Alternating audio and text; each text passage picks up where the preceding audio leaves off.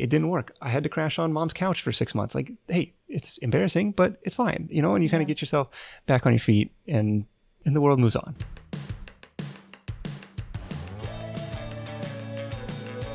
If you're a creative person, if you're a baker, a dancer, a photographer, a screenwriter, an actor, a comedian, a podcaster, and you want to figure out how to make a living doing what you love, this is the show. This is the show. Don't keep your day job. My name is Cathy Heller, and I'm a singer songwriter. I make a living doing what I love, and I want that for you. This is the show that's going to help you do that and give you not only inspiration, but some real life strategies. This is going to help you figure out how to take your creative passion and turn it into a profit.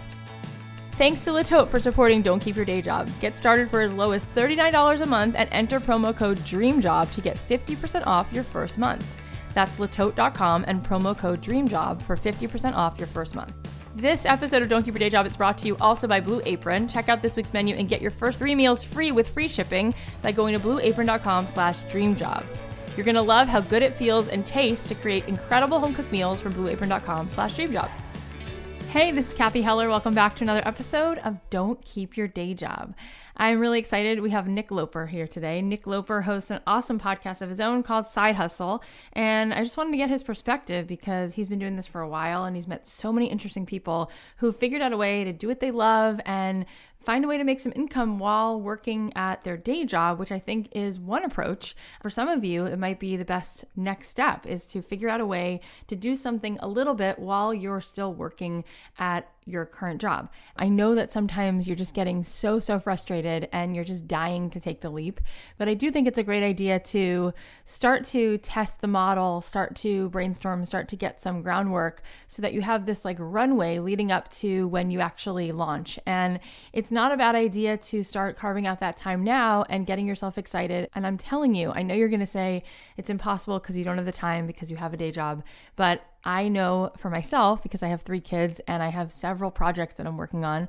And I was a person who once had jobs and also was working on my creative pursuits that it can be done. It's just a matter of making the time. And when something's important to you, you will make the time. So I hope that you guys will be inspired by today's episode. I think Nick always has something interesting to share, and I'm looking forward to diving into that. Uh, before we do, I also just wanted to say uh, whatever you're going through right now, you are not alone. And I know that um, it sometimes feels like everybody else is just having the best time and has it so easy or has somebody who can help them to start their career or doesn't have this particular thing going on in their life like you do. Maybe you have a family member who's sick or maybe you're dealing with you know a relationship that just ended or maybe you're dealing with living in such a far remote place and you feel like it's just so so so so far away um, what it is that you want to accomplish and that you feel like you're just alone in whatever struggle you're in. I just want you to know that everybody is in a struggle. When you go into Facebook, everybody makes it look like things are just so perfect and they make sure to capture the one minute in the day when they and their spouse or their boyfriend or girlfriend or their kids where everything was perfect and that's what they project but the truth is that everybody is dealing with something and you know that's true so whatever you're going through right now in your life whatever's frustrating whatever mountain feels insurmountable you're going to be okay and you're going to be able to get through that. And you're not alone. You are not alone. When you walk down the street today, you can take solace in the fact that everybody who's walking past you, no matter how fancy their clothes are or however it looks like they have it all together, um, everyone's going through something. And even if they aren't, maybe they just went through something, but everybody gets it and you're not alone. And I think it's important to know that so that you have the strength to keep going.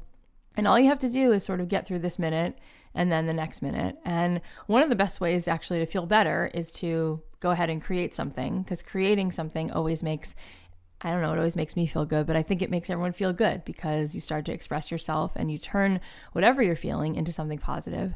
And another thing you can do is reach out to somebody else and try to be there for somebody else. And that is truly one of the best reasons to get busy being creative because what you create will lift somebody else. Somebody once told me that in order to help somebody out of a well, you have to have been down in a well once yourself.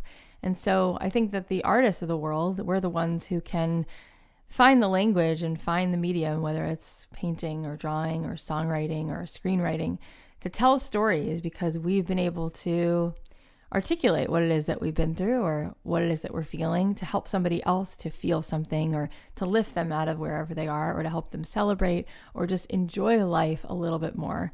The things that people create are the things that create magic in the world. And it's all the color and it's all the beauty. And I just encourage you to know that by doing your creative work, not only will you help yourself out of whatever slump you might be in, but you'll also help somebody else. So keep being creative and know that you're not alone. And it's okay to not be okay all the time. And it's okay to fall apart. Everybody falls apart. I just don't always feel perfect and I don't always feel like I have it all together. But I think one of the tricks in my life has been allowing myself to feel whatever it is I'm feeling. And when I run into people, quite often they'll say, Oh, how's everything going? It seems like things are so amazing. You know, your podcast is doing so well. And I heard you're writing a book. And I'll say, Yeah, so that stuff is amazing. And there's always something else that's going on that's that's hard. Um, life is a mixed bag. It's what makes the symphony so beautiful. You have the low notes and the high notes, and it's real. And I'm never one to gloss over that. Just because I want people to know that it's real. And I don't ever want to project this false image like everything's perfect. And it's not. Um, but it's beautiful. And I read this beautiful quote. I actually posted it on Instagram, and it says, Things don't have to be perfect to be wonderful. And they don't. Um, and I think actually expecting things to be amazing all the time really creates problems because then we have all of this resistance to, you know, when things don't go right, when somebody sends us an email that's a little bit curt, or when we get a flat tire, or when we get to work late. And I think we need to just expect that it's always going to be both. It's always going to be the bitter with the sweet. And we can just appreciate the sweet and know that this too shall pass. Everything always passes, you know, just like the good things sometimes have a way of passing, the bad stuff also passes. Um, but we can hold them both in our experience at the same time. And I think that allows us to enjoy it and actually be with it and tolerate whatever is uncomfortable um, because we're not resisting it. We're just sort of expecting that that is life, that is the way it is, and that's what makes it so darn beautiful and painful and tragic and incredible. And nobody wants to leave the planet, and everybody knows that they're racing against the clock. And even if you have, God willing, 70 or 80 years left, there's always this notion that you don't know how much time you have. And while you're enjoying something, you're also always saying goodbye to it because every day is a goodbye because we don't know how much time we have because nothing's been promised. So there is always that feeling for everyone, even a person who has the most perfect situation right now. Everybody's grappling with their own mortality, whether they are conscious of it or not. And so it's hard, it's painful, and it's beautiful. And that's what makes it so magical because every person is like fairy dust and a firefly. And it's like holding a moonbeam in your hand and you don't know how long you have it. And every moment, you know, my daughters are nine months and three and a half and five and a half. And every time I look at them, I wish I could freeze time because every moment that's so amazing, it's also a million little goodbyes because I know that soon they won't be talking a certain way and they'll be a little older, which will also be cool, but I'll be saying goodbye to a, a different chapter and hello to a new chapter. And so it's a constant feeling of feeling so grateful and so happy, and also the understanding that the more you have to be grateful for, the more vulnerable you are because the more you have to lose, the more there is at stake.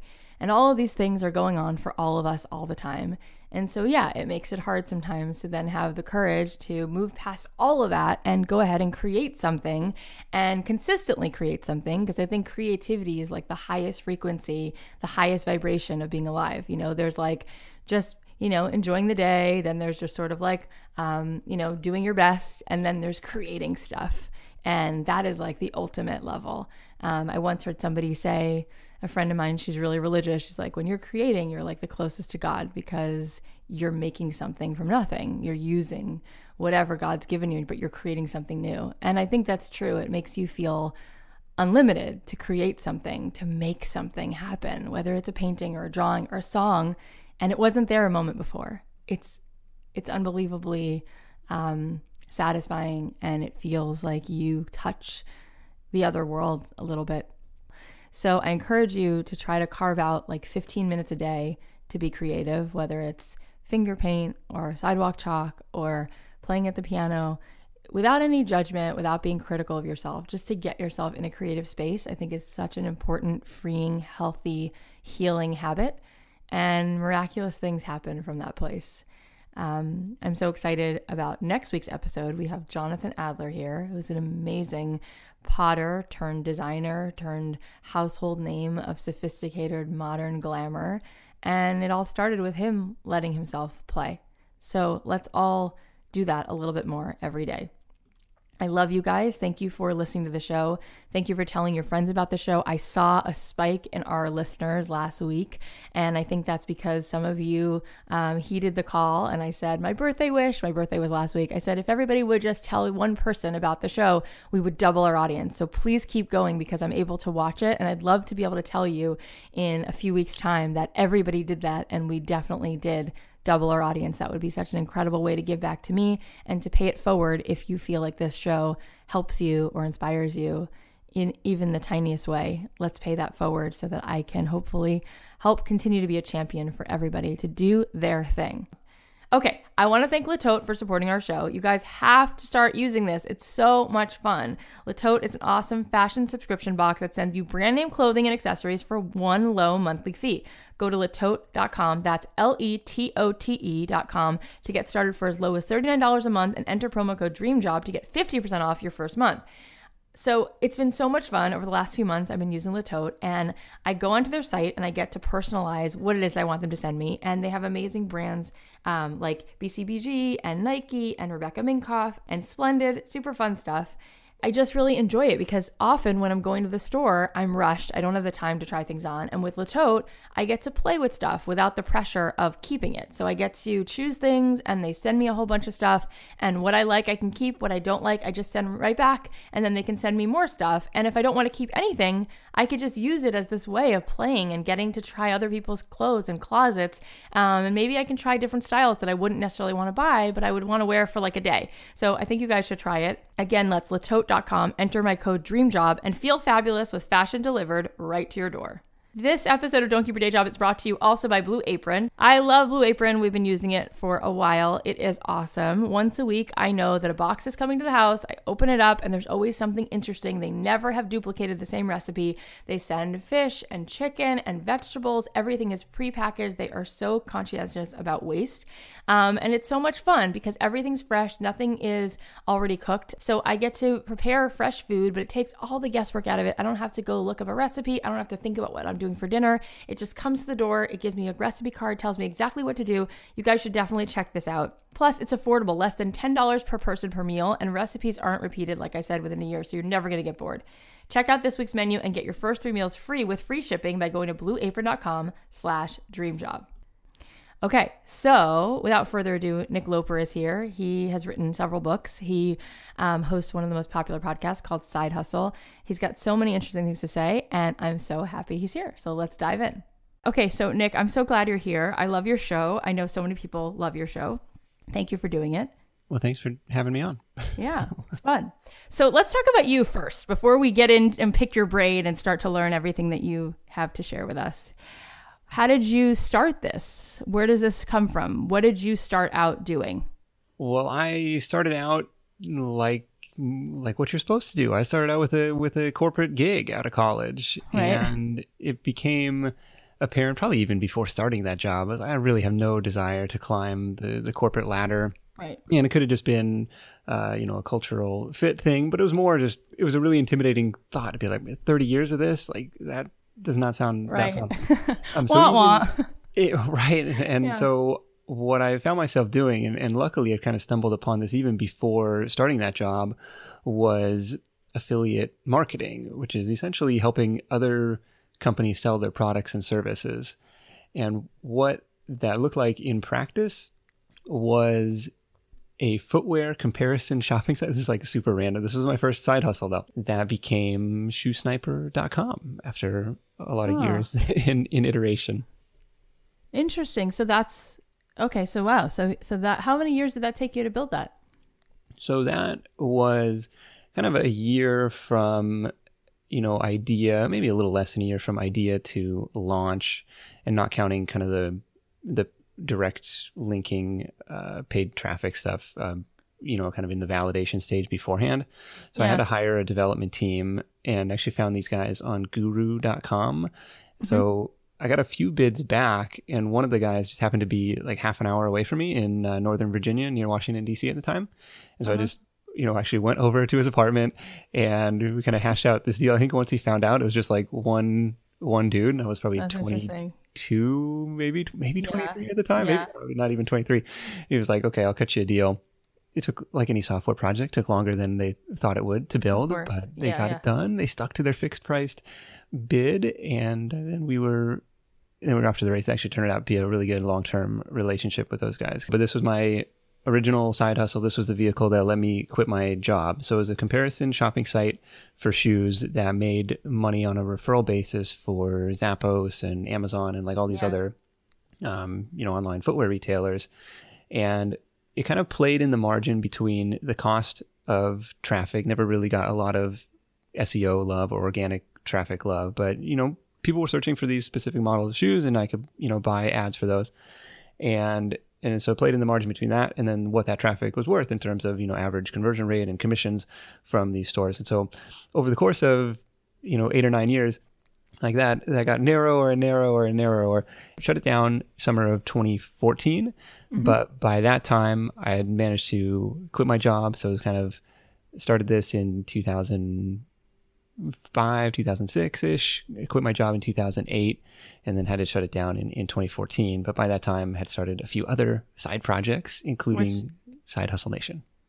And then in 2013, kind of like actually kind of like at a low point of some soul searching stuff. I was like, what do I want to be? What do I want to be known for when people Google me? What do I, you know, never get tired about talking about? And like this brand, this lower risk brand of entrepreneurship that is the side hustle was one that that stuck out. So during during the time, a couple of those side projects are still around, and and one of them is the Side Hustle Show and the Side Hustle Nation blog, and that's kind of been kind of grown into the main focus um, four years later. So the blog and podcast launched around the same time. I'd been blogging on a personal domain since 2009, but it was just you know nonsense like here's what we did on our vacation here's some Yeah. rant about current event like it, there wasn't any coherent message to it until Yeah. it's like okay i'm going to rebrand i'm going to you know only talk about you know part-time entrepreneurship and the struggles and the challenges and the case studies and stuff that go into that and that's kind of when things started to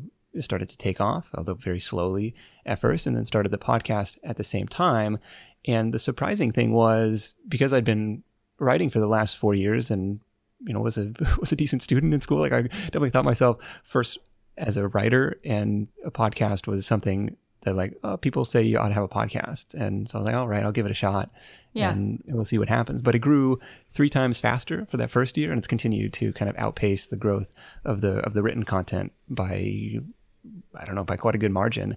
I don't know why that is. It's just like a less competitive sea to swim in or or what I was just going to ask you that, but you just said you don't know why. I was going to say, why do you think it's grown? What do you think you're doing right? Well, I think the, the overlooked method of podcast marketing is like probably any marketing channel is is still word of mouth.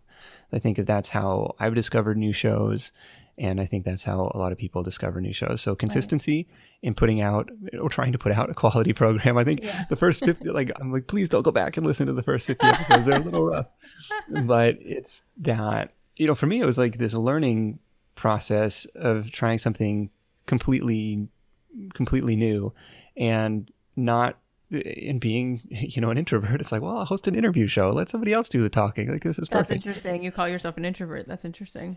and the really the surprising benefit to doing the show has been you know now over 200 and something episodes is like been to build this network and now when i go to different conferences and even when we're just traveling for you know vacation or whatever you know all around the world we've been able to meet up with with listeners and readers And it's just like that Oh, i never expected that nice. to happen that's been kind of the most rewarding part of it That's really, really nice. So, what do you think is consistent in all the people who are successful that you've met? What are the things that you think are consistent traits or things that they've done?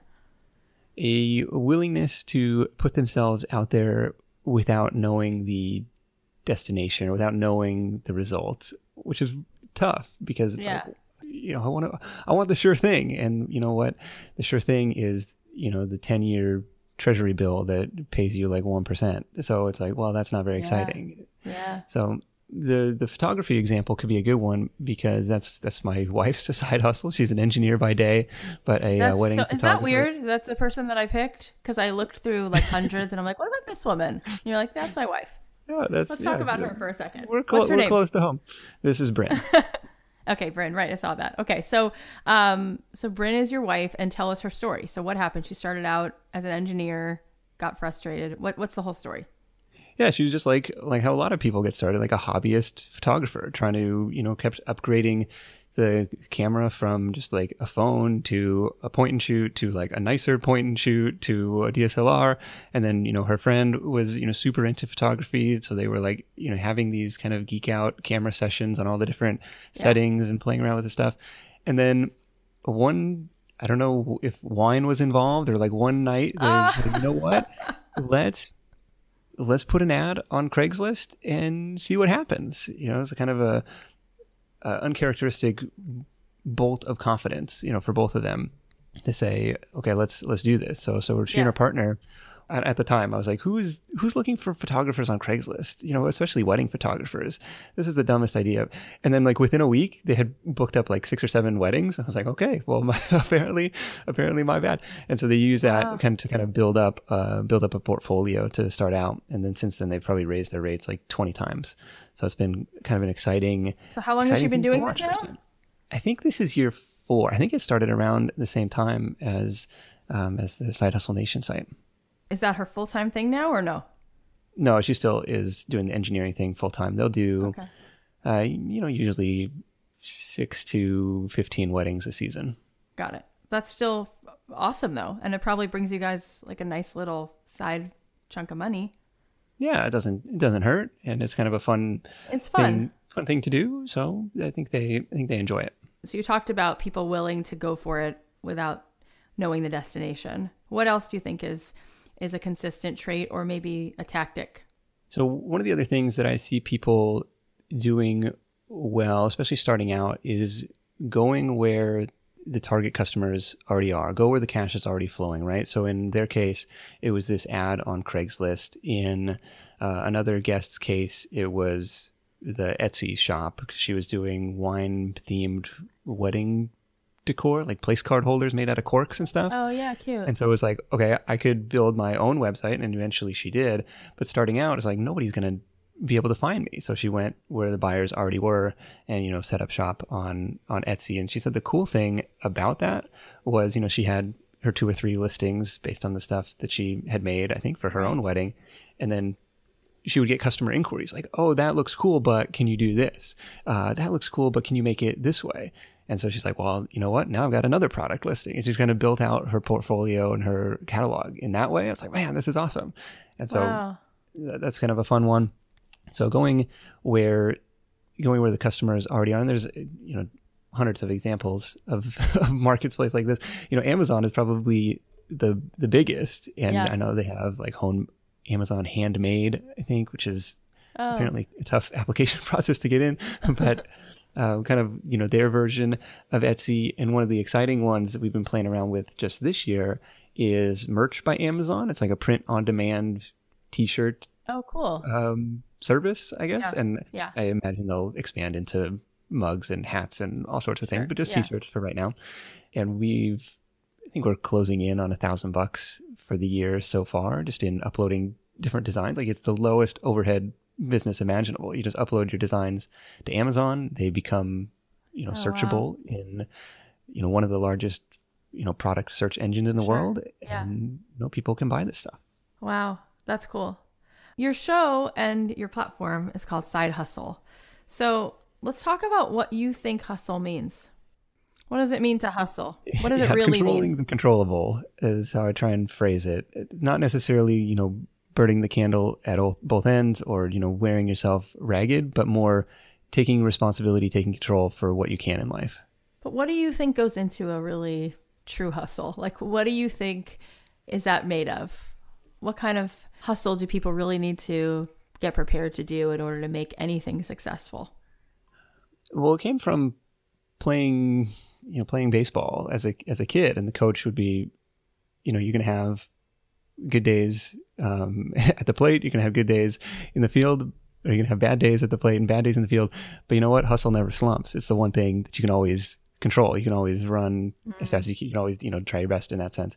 And so that's really what I'm trying to instill on on this site. It's like you know you, you, may not be the smartest person in the world. You know, no matter where you're starting from, you know, high or low, or what you're making at your day job, or what kind of experience you have. It's like you know everything is learnable.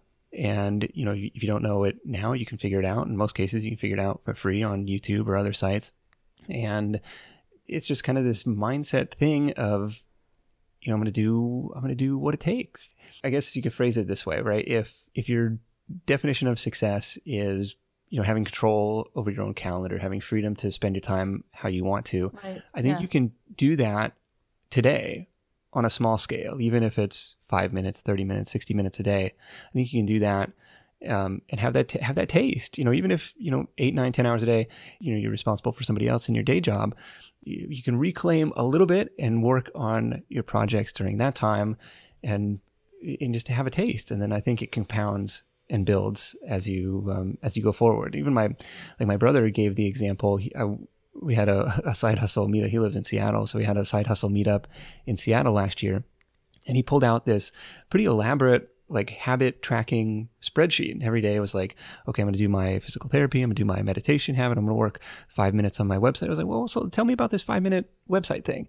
And it was like, look, you know, even after a long day of work, I always have time for five minutes before I go to bed. I'm going to, you know, work on this five minutes. That's like my commitment, my bare minimum commitment. Wow. If I get some momentum and I go 15, 30 minutes, like that's totally fine. Yeah. But it was like this is this is what it is and over the course of the month of course it's like oh well now i've put an hour and a half into this you know and it kind of compounds it's like even if you have very very little time you can still kind of make progress on a daily basis when you make it a habit yeah that's nice. And that brings me to a point where people say all the time that the greatest resource they're lacking is the time. So what if somebody says to you ah, that sounds really nice but five minutes really turns into 30 minutes and i just don't have 30 minutes in my life and that's why i can't do anything i want to do? So there's lots of little time hacks that, that you can do and that, I, and then I've learned over the years. So one of the best ones so far this year is that uh, is that prioritization of saying the night before here here are my top three things that I'm going to work on the next day. Yeah. And you know, boom, one, two, three, you know, work on them in order as soon as I get up. And I've the the hack this year was like make sure you do at least number one before diving into email, before you dive into social media. And that's been just like helps me build so much positive momentum into the day. But when when I was still working full time, it was much more difficult to yeah. do that. So right. so I would block off kind of the time after dinner and before bed was usually like the hustle time. And other people like that's hey, that's sacred, that's family time. All right, so you could flip the script on that and do it first thing in the morning or you know whatever.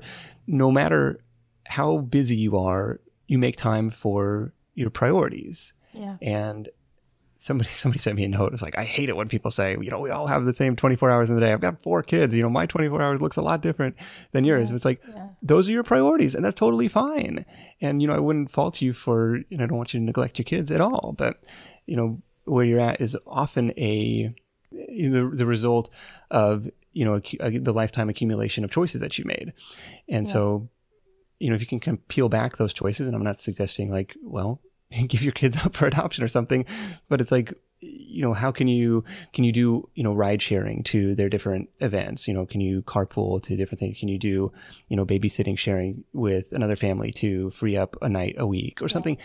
Yeah. There's different ways around it, and one of the more interesting analogies that that I've kind of found for this, actually, my friend Julie she ran a, a podcast called Time Hackers, mm-hmm. and she shared this analogy of you know the giant jar of uh, of rocks, and you probably heard this analogy. The professor stands up at the top of the room with the uh, the jar of rocks, and he asks the class, "Hey, is this jar oh, full?" Oh, yeah, right. Yeah, and of course the you know the class says yeah, and then he dumps in a bunch of pebbles, and he's like, "Well, now is it full?" And of course they say yeah. And then he dumps in the sand, and then he dumps in the water, and you know each time there's room for more stuff. So he's like, and so Julie said, you know the the rocks or the boulders are you know, the non-negotiables in life. You know, it's your sleep, it's your family, it's your job, but there's still a lot of room in and around those things. And so that was kind of the, um, and she had this whole system of like, you know, if you know you're going to have a, a 15 minute commute to work, okay, you can use that time for education. You can listen to an audiobook,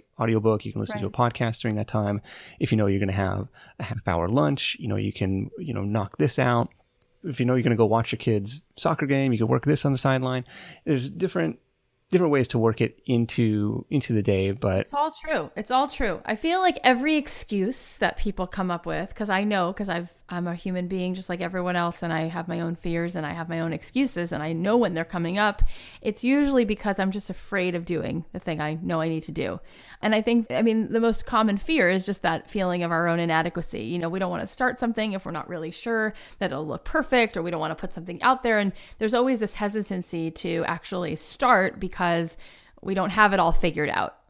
How do you do that? How do you start when you don't have it all figured out? When you're not perfect, but you really want to do something? Um, how do you just begin when you have a fear that it's not going to be everything it needs to be?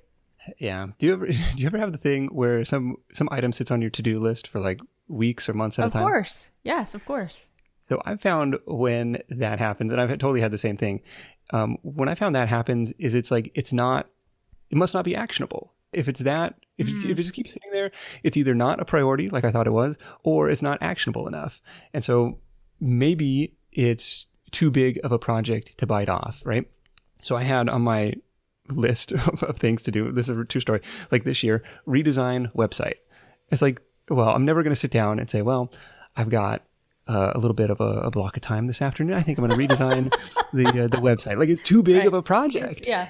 And so what I had to do was okay. Step one, you know, research research different themes.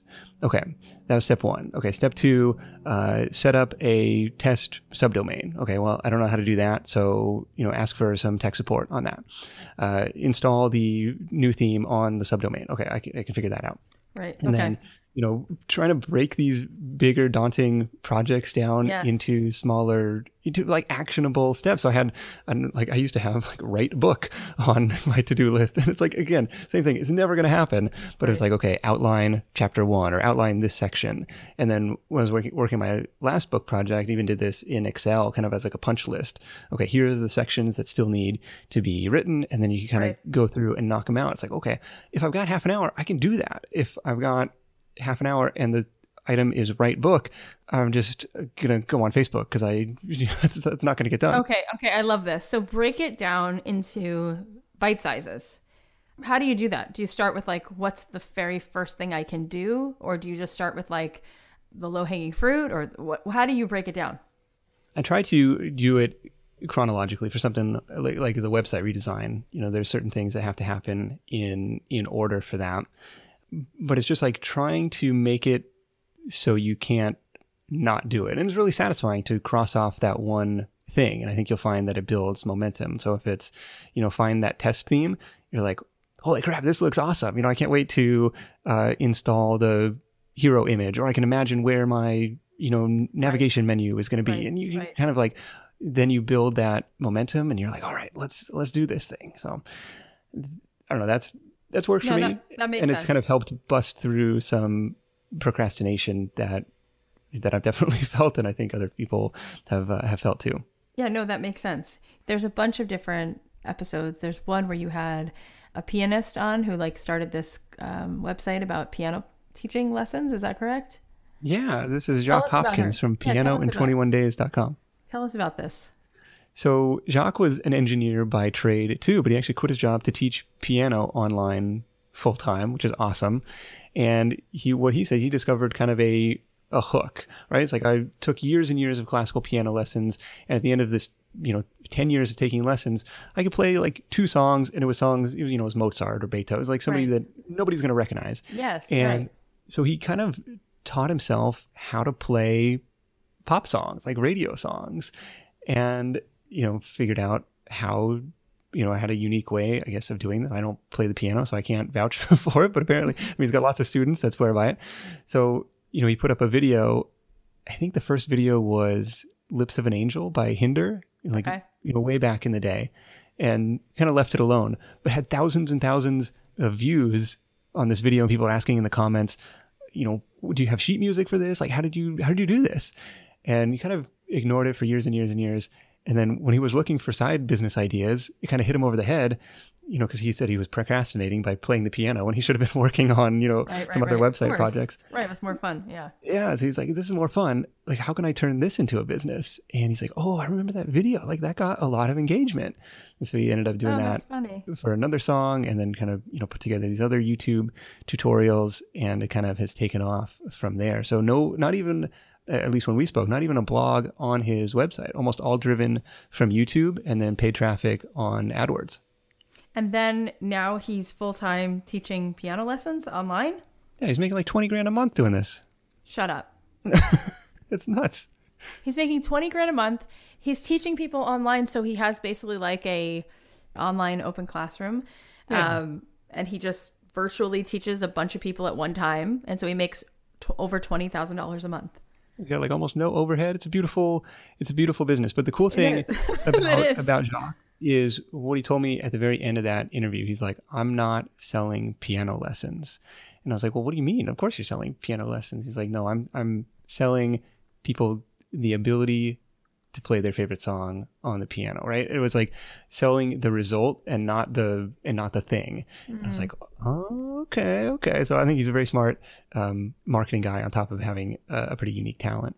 And so he sells this through like AdWords, what does that mean? Does he use Facebook? For people who are novices like me in that world, what does that mean? Sure. So AdWords is Google's, you know, search marketing uh, tool, right? So if somebody's typing in uh, "learn how to play piano" into Google, right. like he can have an ad on that on that uh, keyword search. And so that's all he's doing. He's doing Google AdWords. He's not creating other kinds of content, or is he still creating those videos? That probably helps. Yeah, I think he's still doing the YouTube stuff as well, and I think he is has been blessed with some very nice YouTube rankings for you know piano learning types of keywords, got and it. because his video is really compelling, like he's got a compelling hook to it. It's like, okay, you can learn piano in 21 days, or I can teach you how to learn how to learn to play you know popular songs really cool. on the piano. It's a cool party trick, and yeah, yeah, it is. Eh, you know, so he's so he's kind of found a, a really cool niche there. So let's talk about this for a second because this applies to anybody's business. Whatever it is that you're trying to sell, whether it's a product or a service like that, let's talk about creating content and let's talk about getting it seen. What are some of the strategies? Like you've already mentioned YouTube, we've already talked about AdWords, but if you're going into this, you don't know anything, what would you tell people to do? Would you say start with posting videos? Would you say use Instagram? What would you say is a good recipe to to be getting that? start with where your customers are. So if you're um, you know, if you're writing, you know, or if your if your customers like to read, you know, you ought to be blogging. If your customers prefer learning through video, YouTube is is the place to go. With what I found was that the the podcast was the was the way to go, and I think it's just an order of magnitude or several orders of magnitude less competitive. Mm-hmm. So I mean, there's a million different ways to go about it. So, you know, where, consider where your customers are and what type of content, you know, you can be excited about, you can see yourself doing for, for some time. But would you say creating content is a must for every person or only for certain kinds of businesses? Really only for certain kinds. So the, the shoe business, you know, had barely any content related to it the i mean freelancing type businesses you know probably don't need a ton of content to get started right. over time i think your your portfolio will speak for itself and you can use that to you know create content around like you know in the photography business now you know my wife and our partner can do content around you know here were the the top bridal flower arrangement type of trends, you know, for this year, or you know, here's uh, you know, here's some sample pictures from this venue, right? If people are searching for inspiration for particular locations and stuff like that, but the, the content way is a kind of a a slower way to go, right? Because you're kind of like putting stuff out into the world and then hoping that somebody gets discovered versus going directly to your customer and asking if they want to pay you. Does that make Interesting. Sense? So you think advertising beats content? For speed, for sure. Interesting. I want to talk about two other episodes, and they were actually back to back, but I didn't know that when I chose them.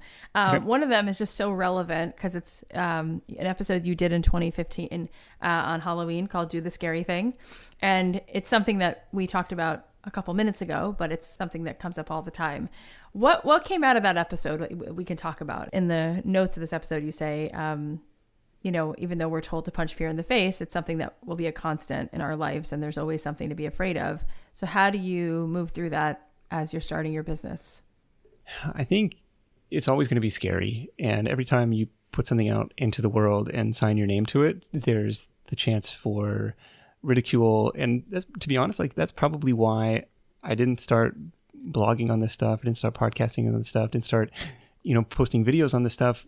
You know, when I, you know, years, years, years and years earlier, it was like, well, what are my friends going to think? Like they're like, they're, you're not that mm-hmm. smart. Like, who are you to be talking about this stuff? Like oh, that totally get that. was, yep. com- you know, probably unfounded, but like that was you know what will people think like that was a legitimate fear in my head and so having to get over that took it took some time, but yeah. the I don't know, like did you have that when you were starting the show? Oh my god, uh, for, in everything I've ever done. I mean, when I first went to start, you know, I started as a songwriter and eventually, you know, became successful at it. But when I first started, I would cancel every every time I'd book a session to record my song with a producer or to co-write something, uh, I would just cancel it. I'd be like, ah, you know, I don't know if anything I have to say is interesting. I don't know if the melody's good. I don't know if the lyrics are good. And I don't like that feeling of looking so foolish and silly. So I just not go, except that I would rationalize, like, oh, I can't go because I got to help my mom, or I can't go because I got to get my taxes done, even though that's four months from now. You know, I was just yeah. constantly canceling. And then it actually wound up working out. Um, and then I started an agency helping other artists. And I thought, oh my God, I look so stupid. Like, who am I to pitch other people? I'm, you know, there's people who are even better than me. So why am I now, you know, expanding this? And then yeah. that did really well. And then I was featured in, you know, magazines. And I thought, why are they featuring me? There's, in fact, I was at the interview for Billboard magazine. They wrote this full page story about my music career. And I said to the guy interviewing me, Phil Gallo, who was editor, I said, why why are you interviewing me? Like why is this so interesting? And he said, never say that to somebody who's interviewing you because you know you're making me feel like I'm not smart. Like I picked yeah. it. I think it's cool. And he's like, and you know, you should know that. And I'm like, that's a good lesson. Um, and then I started a class online teaching songwriters. And I thought, again, this is stupid because there's people who are way more successful. And then a friend of mine said, yeah, but they're not teaching it. You know, they're not teaching right. songwriters how to make a living from songwriting. And you are. And then, you know, it just keeps growing. I had the meeting with my producers about this podcast and I thought, oh my God, this is ridiculous. Like, why are they picking me? And then the podcast did great. So That's I, so cool. I live that. Congrats. Yeah, thank you. I mean, but you did it too. I mean, you're doing amazing. And so maybe so, that's maybe that's a common theme of like you know people having to get over that imposter syndrome and saying yes I'm yes. I'm expert enough. You know, people like I I may not be the world's foremost expert on this, but I know more than most people, and I'm gonna give it a go. Yeah. So I guess how do we break that down? I guess how did we do that? Even though we both felt like imposters, and we just did it anyway. I don't know. It takes courage, I guess, because you're feeling this. You're feeling the same fear. You're just doing it anyway. Yeah, one of the kind of cool ways to go about it, especially specifically related to podcasting, is my friend uh, Steve Young, who hosts a show about app development. He mm-hmm. was a side hustling app developer himself, and kind of started the show for the selfish reason of like, well, I want to talk to smart people and see how can I sell more apps, yeah. right? And then the you know, and that's what he did, you know, at the very beginning was like, oh, that was cool, you know. So I started to sell more apps by applying techniques that his guests would tell him. But now the show has taken on a life of his own. I think he's done like 500 episodes of this stuff now, Jeez, and he's got a private mastermind. He did a live event, you know, for his audience, and it's like, oh, that's you, cool.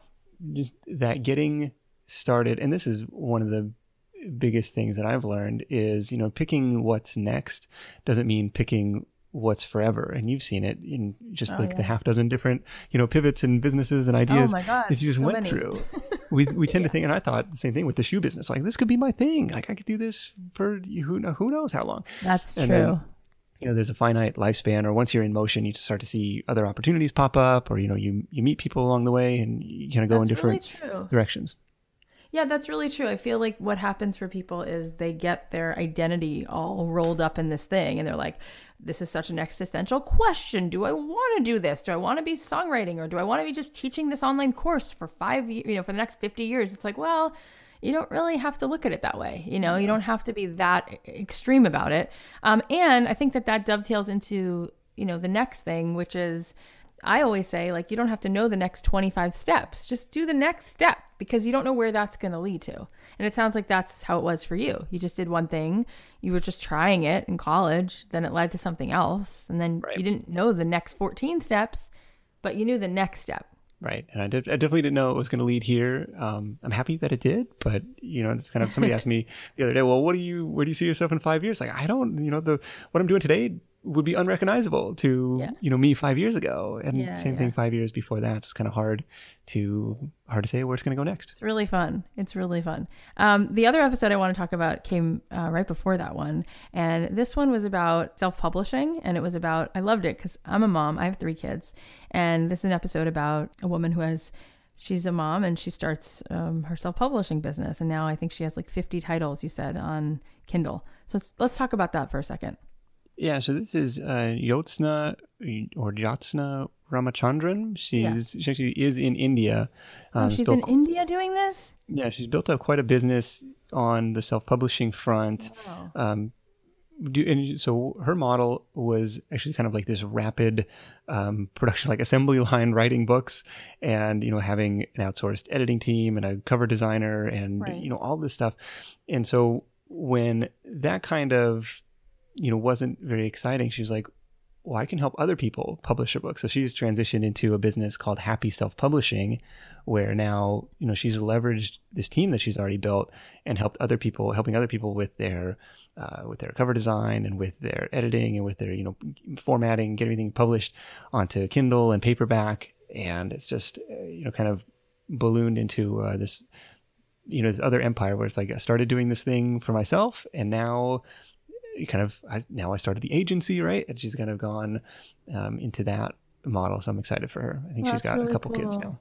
She's doing that over there. Actually, I just met a woman who uh, is called uh, Teresa Greenway, who's doing really, really well teaching people how to bake the perfect sourdough on Udemy.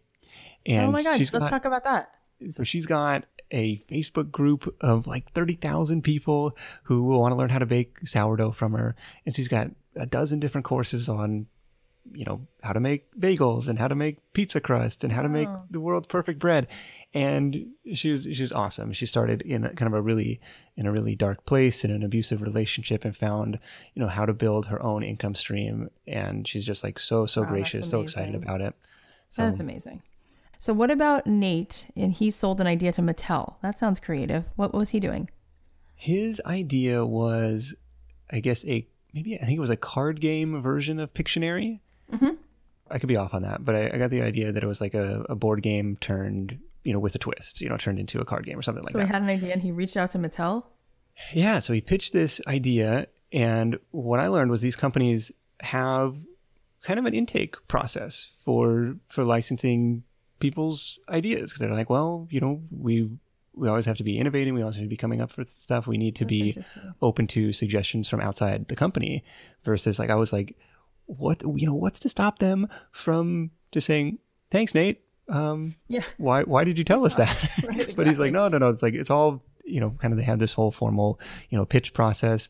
And i think you make you know three to five percent royalties on that. And you can do that for physical wow. products or kind of like these you know idea products. I think he ended up building a prototype and flying to new jersey or wherever to pitch this.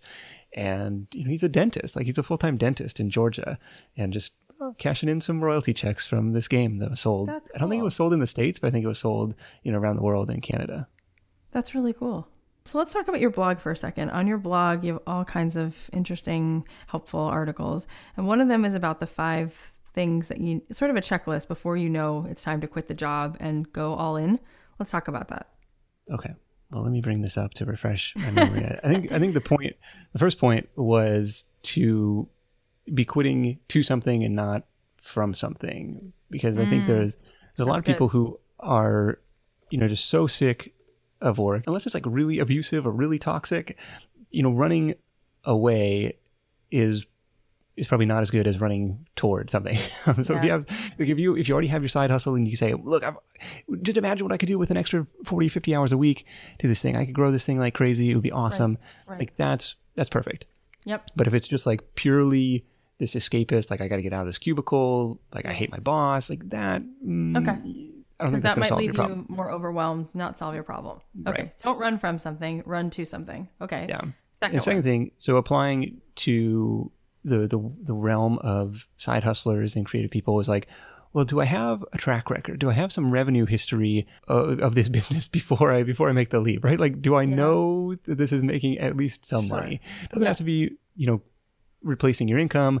Doesn't even necessarily have to be fully covering your expenses yet, because you you know imagine what you could do with an extra forty hours a week. But just like I think that's going to ease your anxiety a little bit yes, to have have sense. some track record. Yep, that makes now, sense. Now the the alternative to that is, or probably what would also be good to have, is kind of your uh, what we call in the startup world like runway, and that's how many months can you last at your current mm-hmm. earning level, or if your earnings went to zero, how how long are you going to last on savings before you have to go back, uh, update that resume, and go look for another job? Yeah, exactly. Yeah, that's good. Um, okay, number four. Number four is your sales pipeline. Mm-hmm. And so for freelancers, you know, or especially freelancers and consultants, we kind of tend to go like from project to project. And then while we're working on that project, we're not really actively looking at the pipeline. And so once that dries up, we're kind of like, oh crap, I don't have any sales. I don't have any money coming in.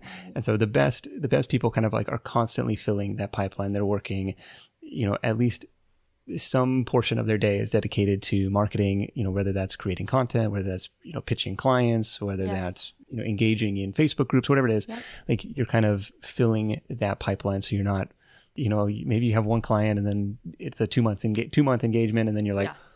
oh, well, now what? And now you're kind of in this no income space. Yep. I get that. Um, and number five, this is kind of a kind of a depressing one to think about, but, but an important one to consider. It's like how are your costs of living going to increase or decrease as you're newly self-employed? So yeah. if you're you know driving an hour to work every day, like I imagine your commuting costs might go down if you uh, are now going to be working from home. But the biggest thing, at least for people in the states, is you know what are you going to do for insurance? Right. It's like this constant question, and it's a really expensive one to try and figure out. Well, which you know, I can go off the exchanges, and they're you know crazy expensive for really poor coverage, or I can try one of these like Liberty Health Share. I've had some friends you know try that, and they said this is great, but well, it's like, well, how how big is this pool? Like, you know, if one person gets yeah. really sick, like, is this going to bankrupt the whole thing? Right. So it's hard to uh, hard to say. And so that's kind of one question to consider before you're uh, before you're ready to uh, give your give your notice at work. Right, and the last one, the bonus one, I like a lot. Let's talk about that one. So the bonus one, you know, on the on the before you quit your job checklist is taking a hard look at what's your worst case scenario because I think we make it out to be way worse than it is. I'm never going to find another job. Like if I mm-hmm. if I quit and this thing totally blows up in my face. I'm ruined. Like no one is ever going to hire me again you know, my house is going to get foreclosed on and all this stuff. It's like, it can, it can happen, right? right. But I don't think is it's super really realistic. True? Like most of the yeah. stuff is not life threatening. And, you know, I've seen people, hey, it didn't work. They went and they got another job. Like, that's totally fine. Hey, it didn't work. I had to crash on mom's couch for six months. Like, hey, it's embarrassing, but it's fine, you know, and you yeah. kind of get yourself back on your feet and, and the world moves on. Yep. Before we wrap up, I want to ask you about a couple like examples. So, Okay, so there's one of our listeners. She has a day job that she she likes it. She's a teacher, but she doesn't love it. What she really wants to do, she went to school for musical theater, and she really wants to be able to audition for Broadway shows. And she's very, very talented. She went to like undergrad for theater, um, and she just feels stuck. She keeps writing to me saying, I just feel stuck. Like I have to be able to pay the bills, but I really need time to audition. And friends of hers who she went to musical theater school with are like on Broadway doing it. She just never took the leap. And so she's like, it's a real issue. Like, how do I pursue it when I need to pay the bills? Yeah, I wonder if there's a way to kind of minimize your overhead and maybe you get a roommate, maybe you can try. I don't know if she is, if she's in New York, but if she can travel there for the weekend, stay with one of her other friends and and do the auditions at that time. But it's tough because you know we build these. It's like lifestyle creep, and we've tried really hard to fight it, but we're still victim of it. You know, I can afford this car and I can afford this house and I can buy these things. And all of a sudden it's like, well, now I need to keep my job to pay for all this stuff. Yeah. I'm not saying that's necessarily the case here, but you know, because there's always going to be, you know, kind of a base level bills to pay. Um, but you consider, you know, what could you do in uh, in your spare time when you're not auditioning to kind of build an income buffer or build a savings buffer that would afford you the the flexibility to go do these auditions. And so that could be teaching other people the art and skill of, of acting, or it could be doing voiceover work, or it could be, you know, any number of different freelance or time time flexible gigs. Yeah. That's one of them. Somebody else is interesting, one of our other listeners. So she's a cartoonist and she makes amazing things, amazing things. Um, recently, one of her cartoons actually went viral because she made this cartoon about her miscarriage and people don't usually talk about it so she yeah. not only talked about it but she talked about it in the most beautiful way um, and a celebrity liked it and actually like tweeted it and it kind of went viral a little bit um, but she she would love to be able to um, you know pay the bills being a cartoonist and she has a job. You know, for people like this who have these creative pursuits, what are some of the things that they should be thinking about in order to, you know, hopefully one day be able to just do that full time? So I think in that case you can model the the people who've gone before you, right? Like the oatmeal is probably the example that comes to top right. of my mind where it's you know similar like these every every cartoon he puts out you know tends to go viral now because yep. he's built up this audience but at the beginning it was still like oh this is too funny not to share right or this is too good not to share and it sounds like she kind of hit that on the head with this miscarriage cartoon yeah. another example um, my friend steph halligan she runs a site called arttoself.com it mm. started out just as like a daily you know doodle to herself and like some kind of like affirmation or reminder. Yeah, and cool. there was an email list component to that and she started taking kind of you know patreon style donations where it's like hey you know if you want to support my work you know it's three bucks a month seven bucks a month. I think she had a couple different tiers. She ended up putting a book out uh, to support that as well. Um, and then she does kind of freelance cartoon work for different companies and say hey look if you'd like to present your message in kind of a fun and unique way, I can help you get that done. And so kind of that's how she's gone gone about monetizing her cartoony skills.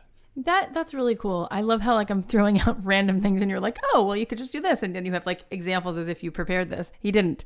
Um, but one of the things you just said, uh, which comes up all the time, is you know you were saying reaching out and asking, you know, do you want me to deliver your message in a cartoon? The whole idea of like that cold email, like the reaching out thing. Do you have any tricks? Do you have any hacks for that? Like how do people get through to the person, even especially when they have something worthwhile to share?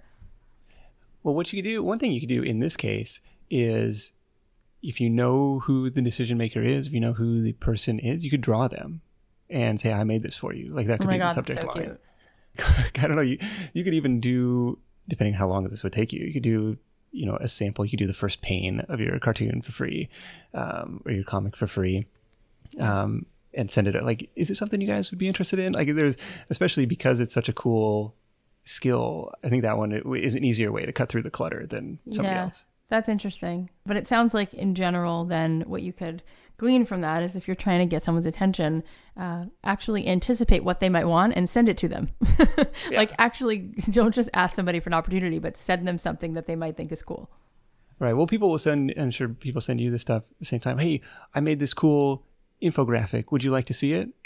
I was like, why are you doing in three emails, which you could have done in one. Yeah, just send, send totally. the thing. Or I, I, wrote this really cool article. Can I send you the link? It's like, oh my god, just send it. Just it's send fine. the link. Yeah, totally. Yeah, I totally hear that.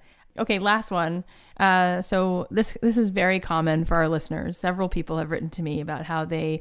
One girl does this like hand lettering, and she wants to start an Etsy shop, and she wants to eventually, you know, make a full time living from this hand lettering. She's pretty good at it too, cool. especially because she's a lefty, and it still looks pretty awesome.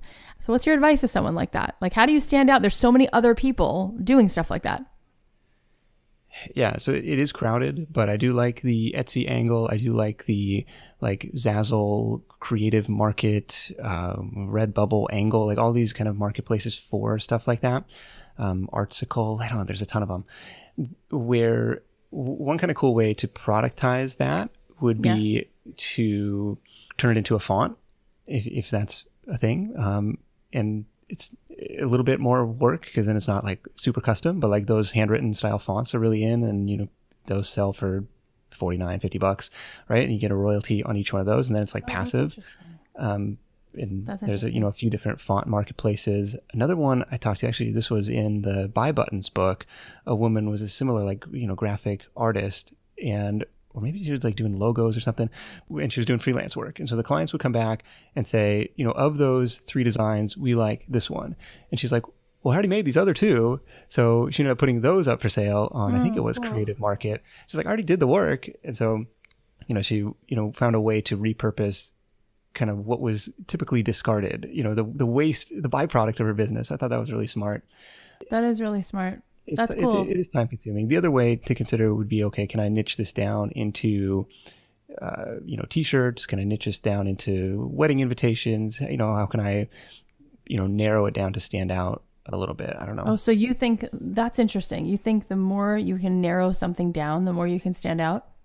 Well, especially for like something is as competitive as like handwritten you know graphic lettering because my no, sister-in-law is doing the same thing and it's like How, well, why is that? That when you niche something down you stand out? Because then you know who to market to or then you know the AdWords or why is both that? both. Yeah you can yeah. say when people are looking for you and they, well this is the go-to person for right. you know so hand lettering for baby birthday invitations or something. Yeah. Um, it's so or, true.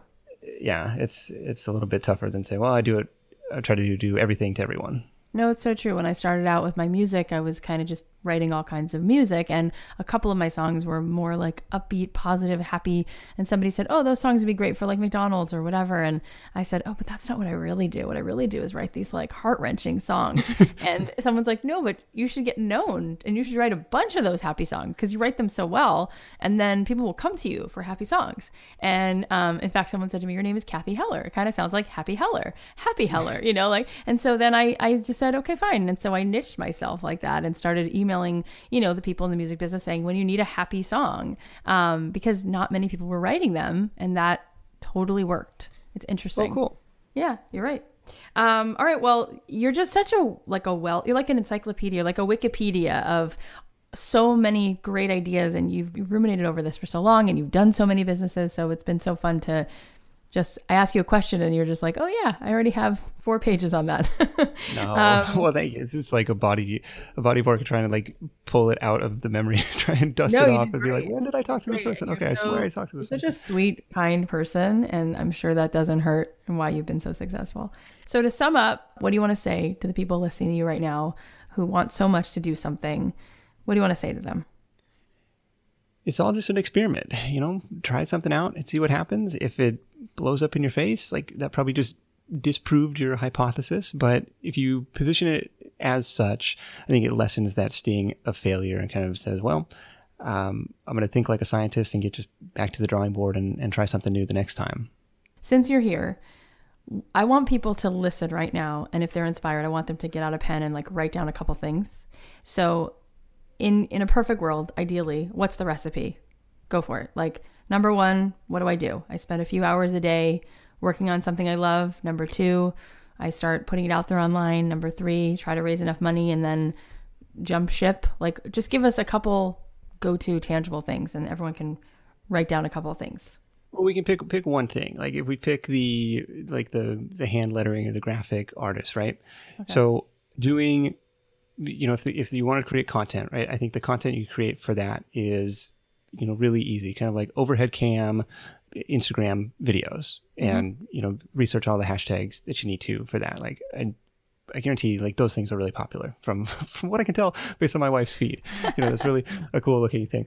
You know, so that's one way to kind of start to get followers and then on the you know how to get customers if you can narrow down okay who do I want to work for or it's, it's so much easier if it's like a business client rather than like you know brides to be um, so you can send you know messages or you can like do handwritten notes directly to decision makers you know if they're working at that. companies versus uh, you know this blanket well it's a market of you know 7 million weddings every summer right. something like that um, so it's a little bit more difficult to do it um, to do it that way but one method i really like is that you know give first ask second. And you're doing that on the one hand with the content, but you can do that on the second hand with the product as well. And so people have done this for me. They're like, I'm going to make this video for you. Like it's, you know, free to use how you wish. And if you want to continue, here's, here's how to go. Or it's like, Hey, I did this audit of your website. I found these three glaring SEO mistakes.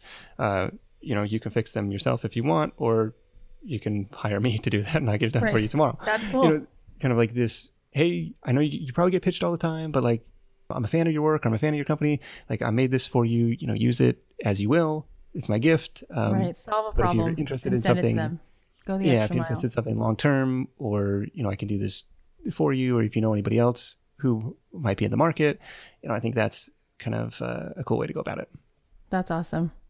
Cool. Okay, where can people find you? Side Hustle Nation and the Side Hustle Show podcast is available wherever fine podcasts are sold. Okay, awesome. Thank you so much for taking all this time and offering us so much insight. I really, it's so easy to talk to you. I appreciate it. You bet. Thanks for having me.